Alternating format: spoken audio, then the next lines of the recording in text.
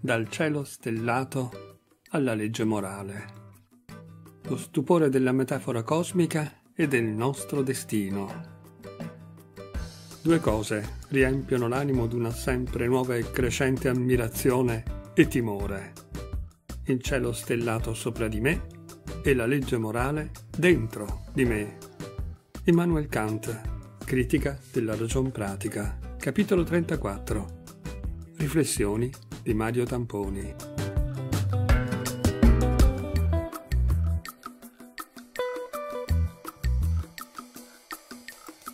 Il cielo stellato.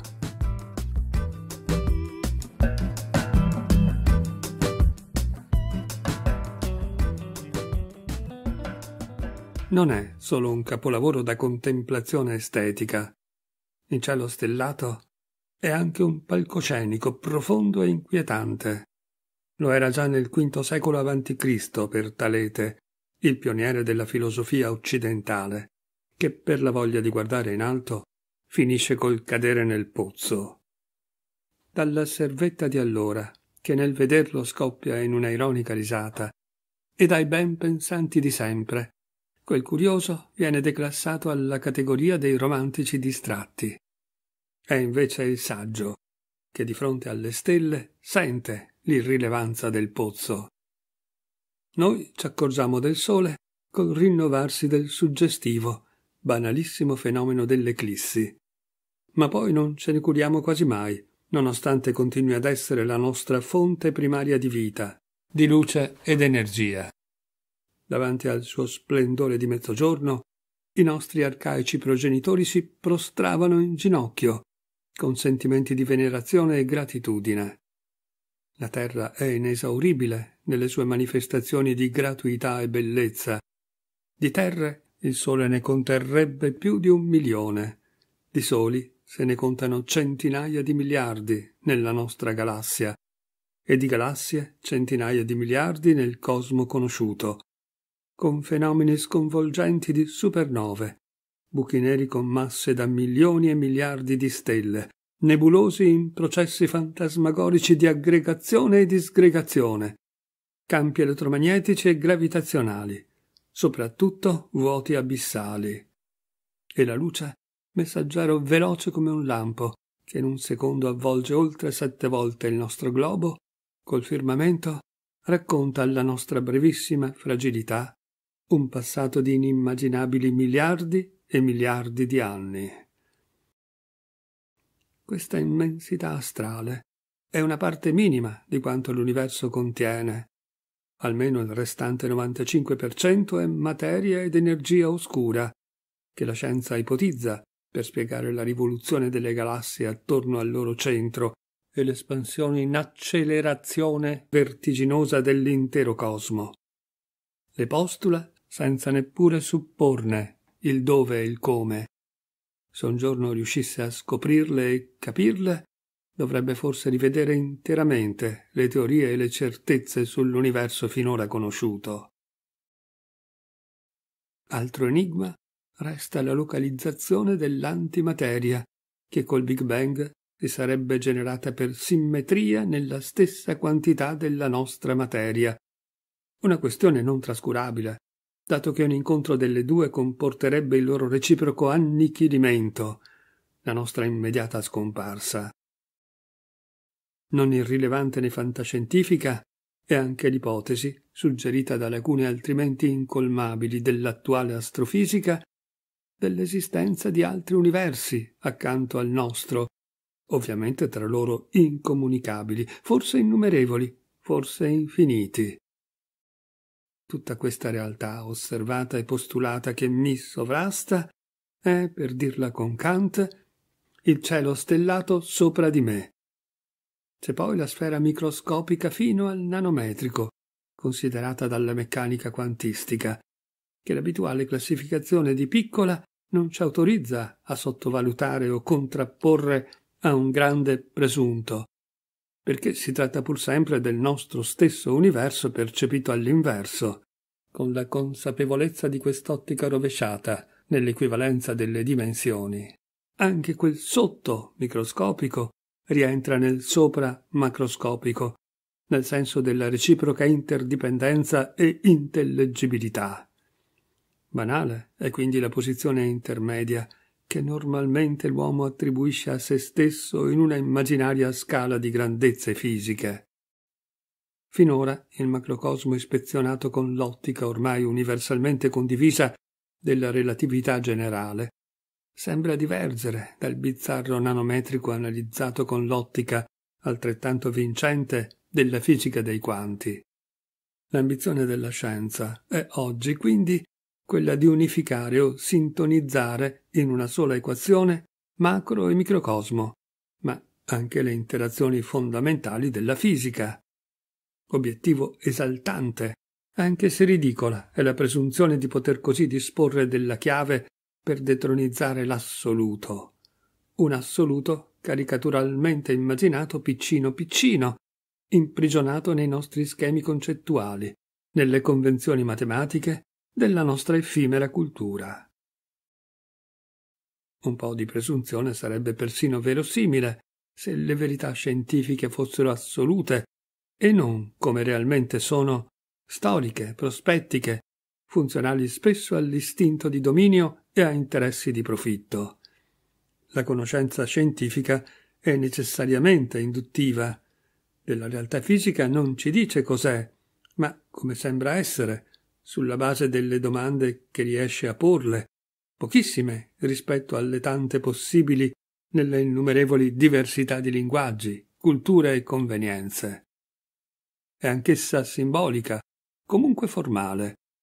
Lo avvertiamo già quando col nostro sguardo neurologicamente tridimensionale ci confrontiamo con una dimensione in più, ad esempio col tempo del modello della relatività generale.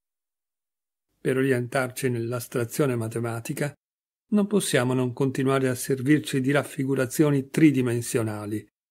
Immaginiamoci, quando formule matematiche più complesse ci prospettano 5, 9, 12 dimensioni.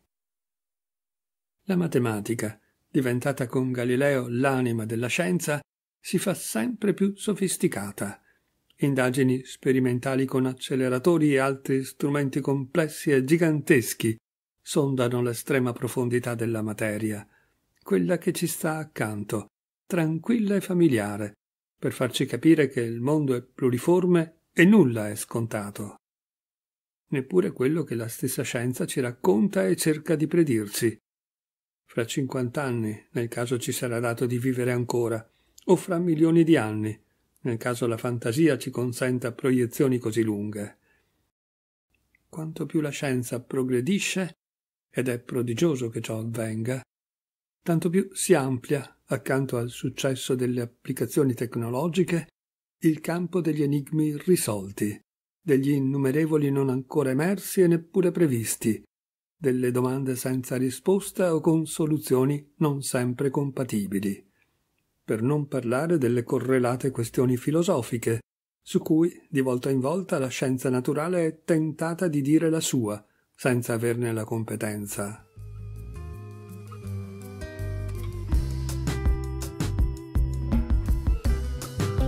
Il mondo fenomenico.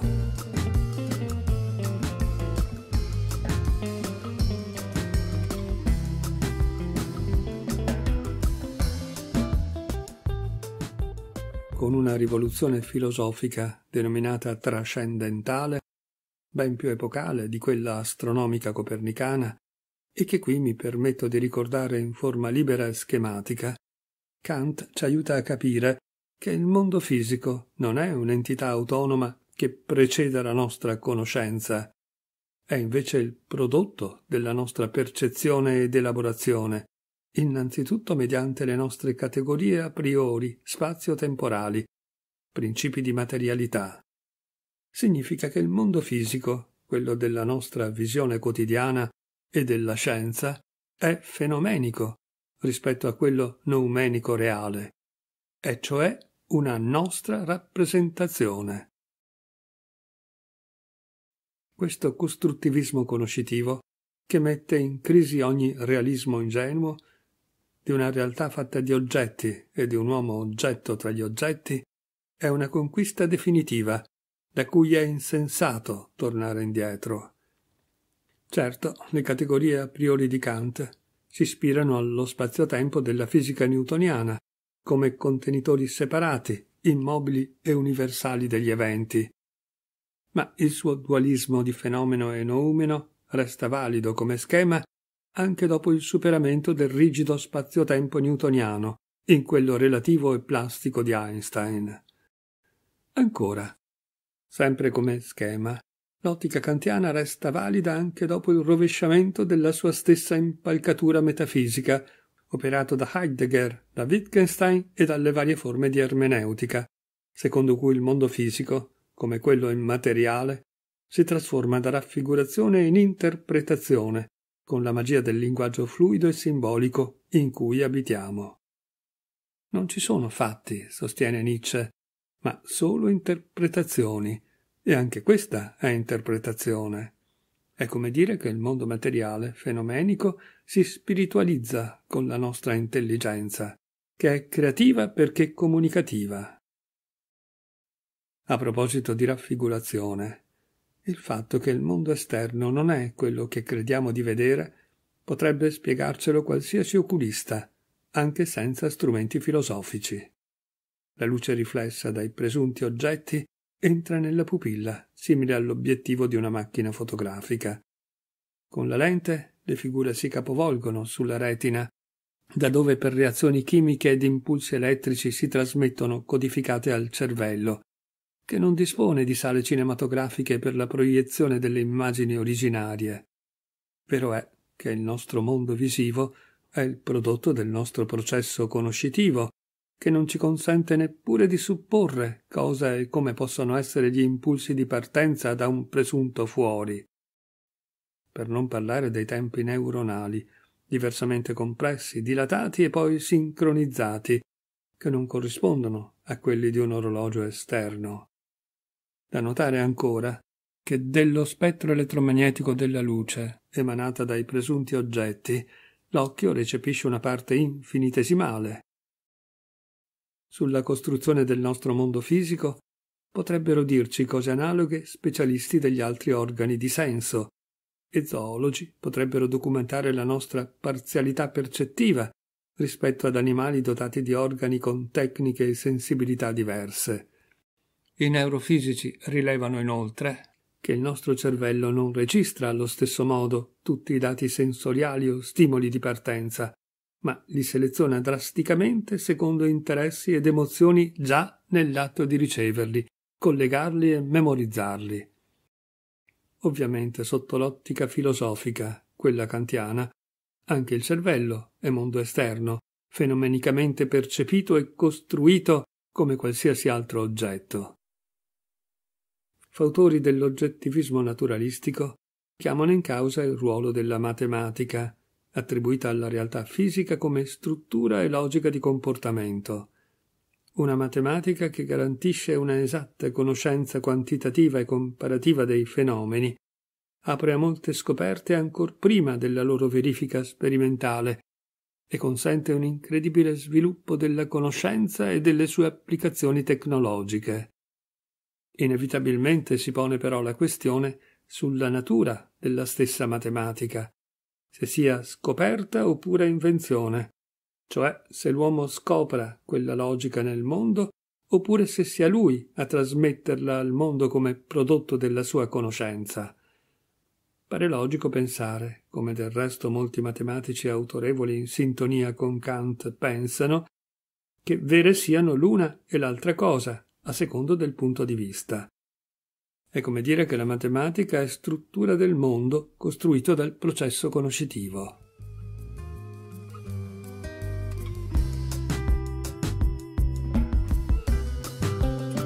La sfera della coscienza.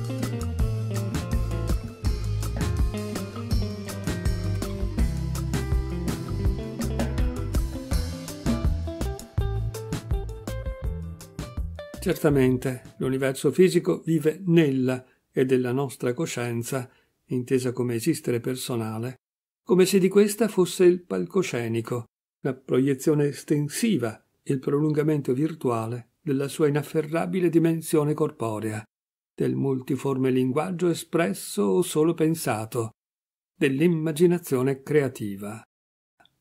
È anche un fatto che per il significato e il destino del nostro esistere non sono indispensabili presunte verità definitive sul mondo esterno, che del resto non ci vengono offerte dalla scienza, certamente molto più avara della coscienza, quest'ultima col suo flusso inesauribile di bellezza e poesia, di scelte e sentieri da percorrere.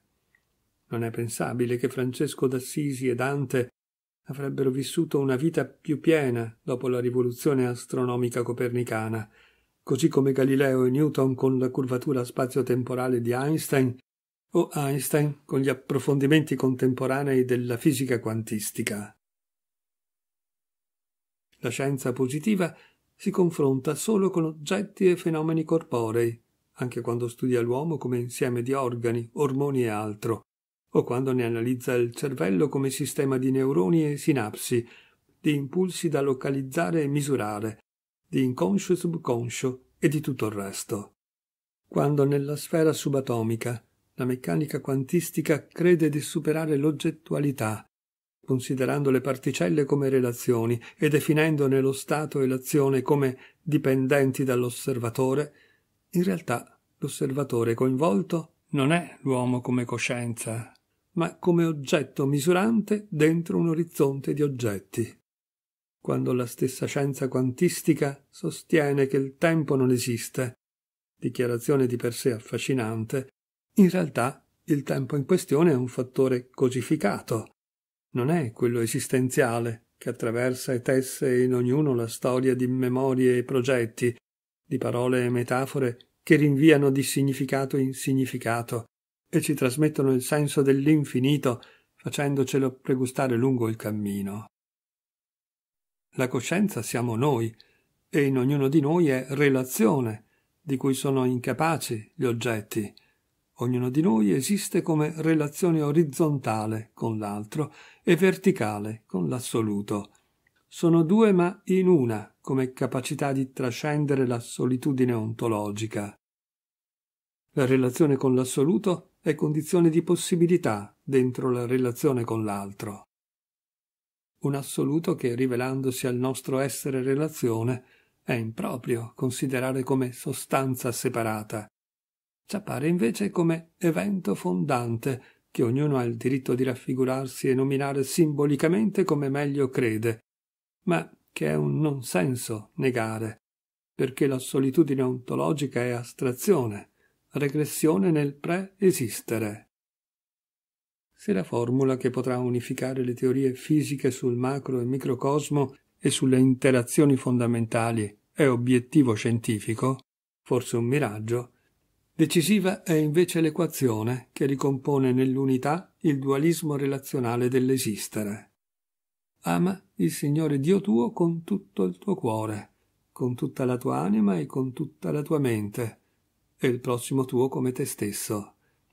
Nel Vangelo di Gesù di Nazareth questa formula si esprime nelle modalità del discorso della montagna, dell'essere e non dell'avere o dell'apparire, dell'apertura incondizionata all'altro come singolarità e come comunità, della libertà oltre le maschere, del debito di gratitudine per l'esistere che ci accompagna non col peso di un dovere, ma con la gioia del nostro compimento creativo. Le modalità sono tutte riconducibili all'essenziale, che non è dottrina per presuntuosi e arroganti, ma rivelazione per semplici, senza calcoli e preconcetti. La vera etica non è una normativa a base metafisica, ma è la stessa vita relazionale come evento, dove non sono i poli, io, l'altro, l'assoluto, a caratterizzare la relazione, ma è la relazione a configurare i poli. L'etica non è qualcosa di destinato ad essere superato dall'evoluzione biologica e neurogenetica, ma l'opportunità singolare di riscatto dalla logica della concorrenza selettiva. È la scoperta della fratellanza da vivere, col dono della forza per riuscirsi. Non la scienza, ma l'etica ci richiama scuotendoci personalmente alla più vitale delle evidenze. è quanto intende Dostoevsky quando fa dire al principe Miskin la bellezza salverà il mondo. La bellezza non nel senso estetico, ma come valore etico. Per il cristiano, e Dostoevsky lo era profondamente, significa redenzione, dove l'assoluto nella nostra relazione con l'altro assume il volto umano del Cristo.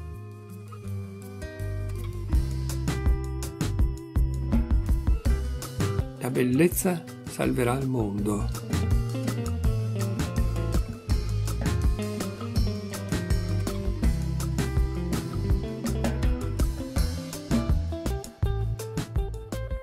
Ricondurre tutto all'etica significa tutt'altro che banalizzare la complessità della vita.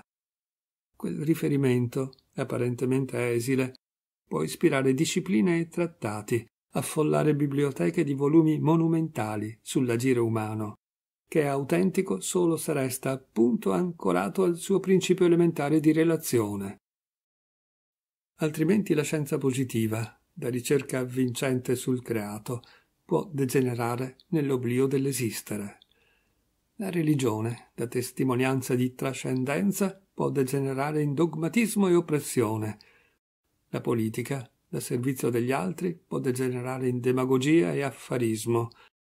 L'economia, da gestione del patrimonio comune, può degenerare in corruzione e mercificazione dell'uomo. La finanza, da equa amministrazione, può degenerare in speculazione e dominio. La comunicazione, da informazione e confronto, può degenerare in propaganda e manipolazione. La tecnologia, dalla moltiplicazione delle possibilità, può degenerare in dipendenza e idolatria.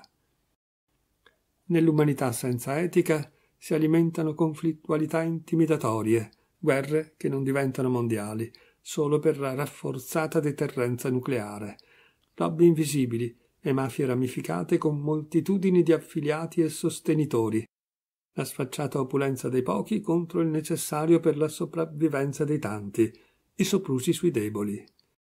E prosperano gli sciacalli, che si arricchiscono sulla militarizzazione e l'inquinamento, sulla disoccupazione e il lavoro nero, sulla droga e la prostituzione minorile, sulla schiavitù degli inermi. Oggi parlare di bene comune è diventato di moda, ma attenti alle contraffazioni. Un'etica senza la componente verticale, relazione con l'assoluto, non è razionalmente sostenibile né possibile se non nella forma del buonismo ipocrita e narcisistico. Ce lo dice l'analisi darwiniana dell'evoluzione selvaggia. Ancora, L'etica ontologica può essere supportata dall'empatia naturale grazie ai cosiddetti neuroni specchio, ma l'empatia non è etica. Totalmente diversi sono i piani. L'empatia è un fenomeno psicologico organico genetico. L'etica coinvolge invece la libertà di ogni irripetibile individuo. Una libertà che non è quella che la scienza vorrebbe osservare e misurare sui riflessi neuronici o dice di veder contraddetta dal fatto che le nostre scelte sembrano precedere di qualche frazione di secondo la loro consapevolezza, come se si trattasse di determinismo o automatismo mascherato. La libertà etica non è neppure quella che la meccanica quantistica crede di veder negata dal principio di indeterminazione.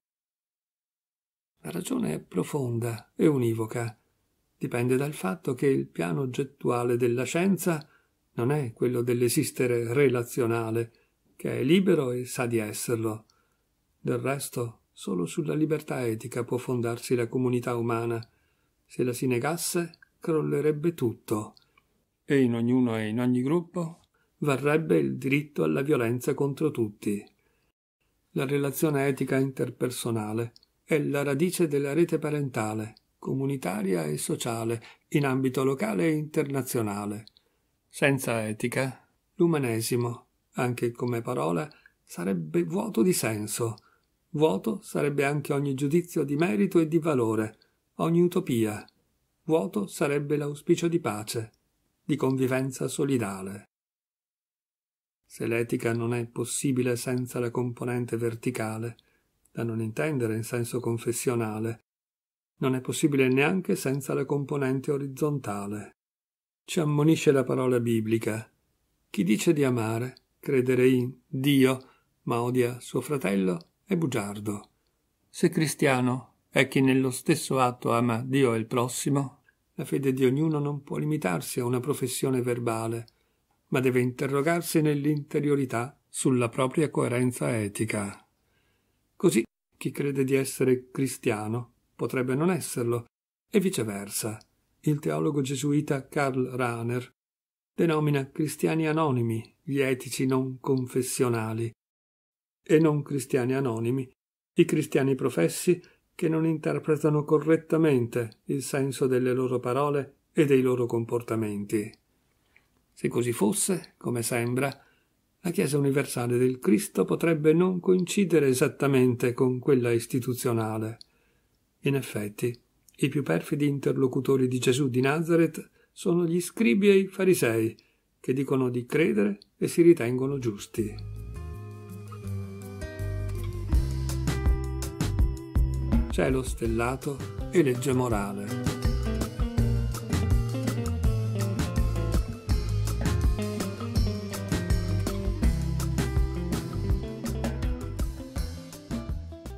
Questo discorso etico, radicato nel cristianesimo, è in piena sintonia anche con la trattazione rigorosamente razionale di Kant, il filosofo per il quale, come già accennato, il mondo fisico è fenomenico, vede nell'etica, denominata legge morale, l'esperienza umana del reale, noumeno.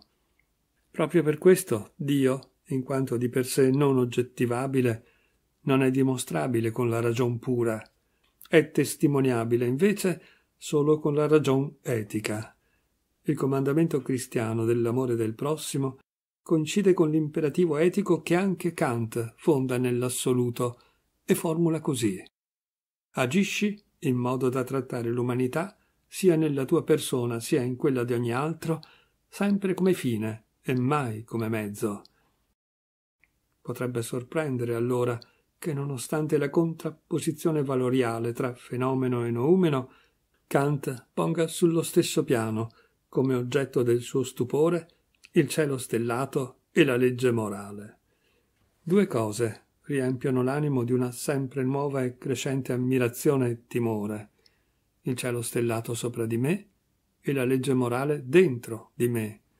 Critica della ragion pratica, capitolo 34. Ma c'è una ragione. Il fatto che il cielo stellato, cioè il mondo fisico e oggettuale, sia fenomenico, non significa che non esista. Esiste come rappresentazione, con la sua bellezza straripante, come metafora del trascendente, che solo nel rapporto etico si vive realmente.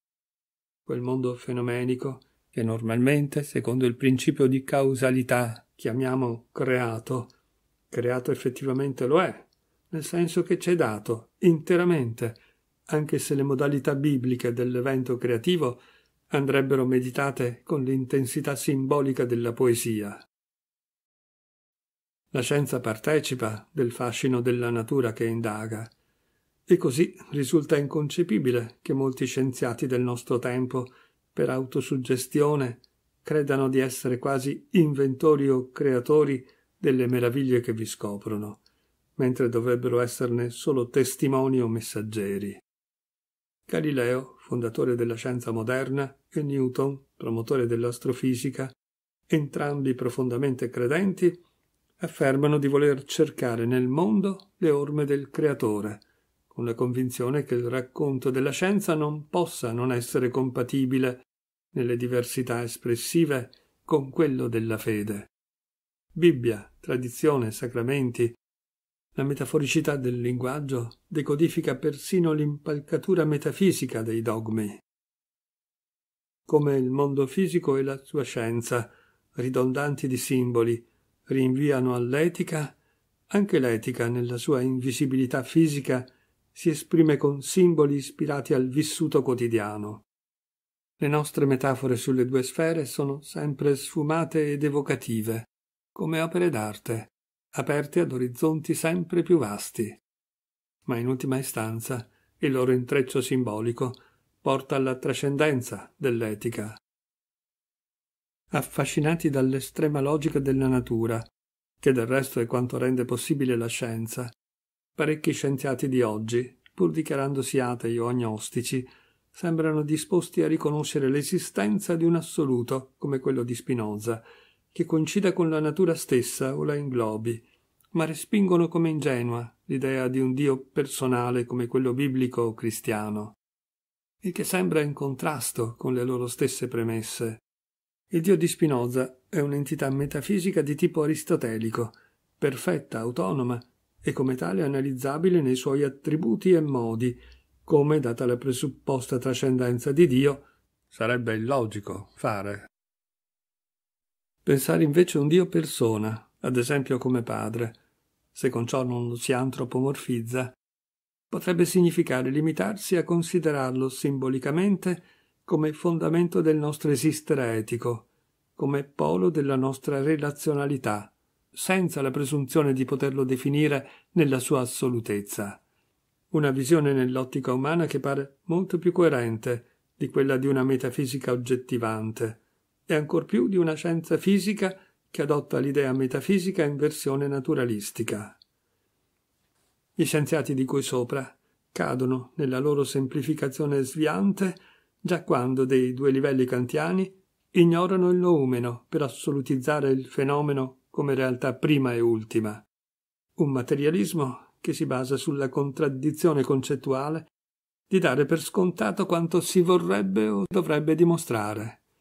E così, stando all'ottimismo scientista, la scienza, crescendo, dovrebbe svelare ogni mistero, risolvere ogni problema. Manipolando il genoma umano, promette di giungere un giorno a estirparne persino l'aggressività e rendere obsoleta l'etica. È un fatto invece che, trattato come oggetto materiale umano, l'uomo diventerà robot senza relazioni reali, senza identità macchina destinata a esprimere la sua inutilità quando altre macchine artificiali la supereranno in intelligenza tecnica, quando cioè il produttore diventerà prodotto del proprio prodotto. Dio non voglia che l'apoteosi del mondo umano si celebri un giorno nella torre o tomba di Babele. Sembra che il mito platonico della caverna valga anche per questa categoria di scienziati, nei quali il pregiudizio di fondo è ancor più radicato che nell'uomo comune. Sarebbero come prigionieri incatenati e immobili che credono come unica realtà le ombre che vedono proiettate sulla parete della grotta oscura, incapaci di dar credito a chi, liberandosi delle catene, vede dietro le spalle dei compagni il fuoco che con la luce produce l'illusione delle ombre, e varcando la soglia scopre il sole, metafora di bellezza e del bene etico. Contemplazione biblica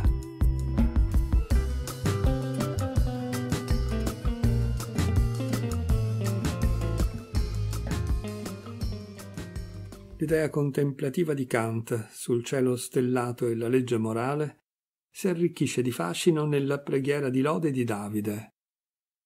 Sul cielo stellato, Salmo ottavo. O Signore, Signor nostro, quanto è grande il tuo nome su tutta la terra. Hai posto sui cieli la tua magnificenza.